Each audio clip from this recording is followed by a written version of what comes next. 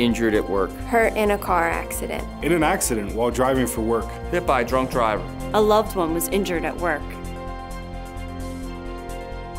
I wouldn't call anybody else. They'll fight for you. They'll listen. They had the experience you need. I wouldn't call anybody else. I'm Adam Malamut. If you or a loved one has been injured, give us a call now. We can help.